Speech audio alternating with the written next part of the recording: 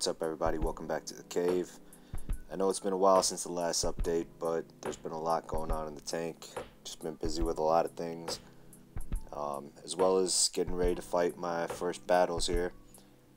Two things going on in the tank. We got a bacterial bloom and a diatom bloom.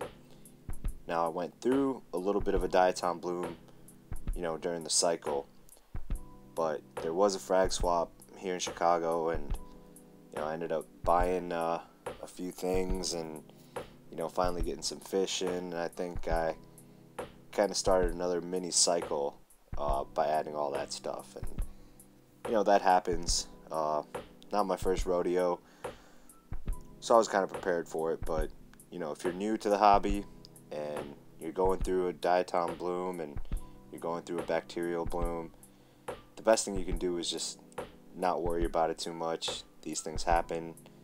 Um, you know, the diatoms are mostly just silicates, and you know, as you can see here, got a nice little brown patch behind that rock.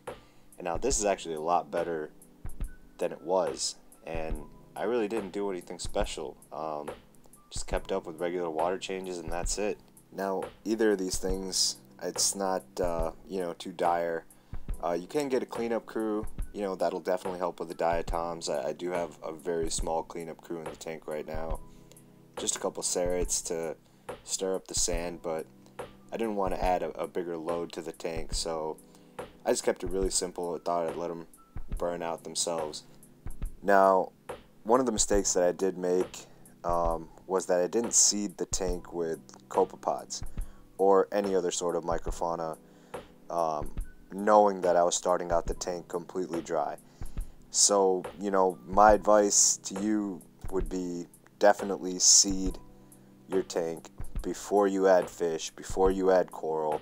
Honestly, before you even add your cleanup crew, you want your tank to be properly seeded with copepods um, because they will help control you know the diatom blooms that you see they do eat diatoms other detritus and algae and stuff like that, you really kind of want to attack it at the source. And the microscopic level, you know, with copepods to have a healthy population is the right building block you're going to need, you know, for a healthy reef and a healthy system. So don't do what I did. Don't get coral. Don't get fish. Don't get a cleanup crew. Get copepods first and then build from there. So start from the most basic level and move up. So, with that being said, I'll probably be ordering some copepods myself. Um, thankfully, I don't have very many fish or predators for them, and I'll get to the fish here in a minute. But, you know, this will allow me to hopefully control some of the diatoms that are going on and other algae before it starts, before it becomes a problem, because hopefully I'll be able to establish a healthy enough population to not only take care of that stuff, but to also feed the fish. Now, speaking of fish, I did add a pair of clowns as my first fish, and uh, you know, it's just a throwback to the original two uh, onyx clowns that I had in my last system.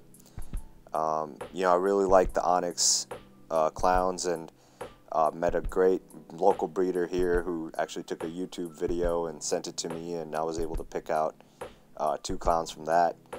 And, uh, you know, this is the first day that they were in the tank. And one of the reasons I love these Onyx Clowns is because, you know, you really get to see their colors really come in and develop over time. And, you know, if you notice the little guy there, he's pretty much all gray.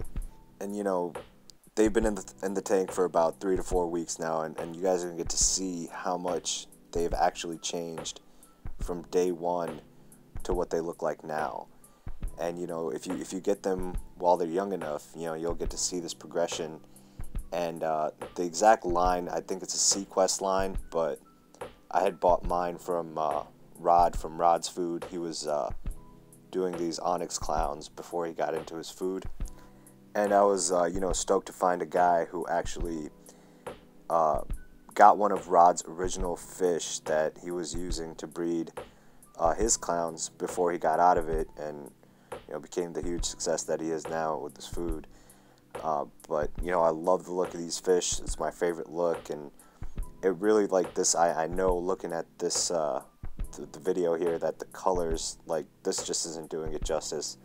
the blacks on these fish are like almost like the a really really deep matte black finish and uh, you know the orange is more of like a red orange and uh, they're just beautiful fish and you know this was actually one of the reasons I started the tank back up again is because I wanted to own a pair of these again and um, I'll put a link to the guy that I got them from I don't know if he ships uh, around the country but you know if he does his name is Tom he's a great guy uh, he'll give you a fair price on them, and, and they're absolutely beautiful and extremely healthy fish. So, guys, that's pretty much it. You know, I'm still uh, tweaking the tank a little bit. There's a, a, lot of hardware stuff that, you know, I need to get through and, and fix and fine tune. Uh, same with the rock work as well. Uh, you know, there's been some challenges with the lights and, you know, getting a schedule and everything set, and I'm still tweaking it. And, uh, you know, I'll review those things as they come along. Uh, but for now, you know, I'm happy where the tank's at. It's finally a, a, reef tank. You know, I have coral in there, I have fish in there. Now, a lot of those coral need to be placed and, uh, you know, just need to tighten everything else up. But I think I'm off to a good start. Um, tune in for the next update. I hope you guys enjoyed it. I know it ran a little bit long. Uh, but again, thanks again, um, and I'll catch you next time.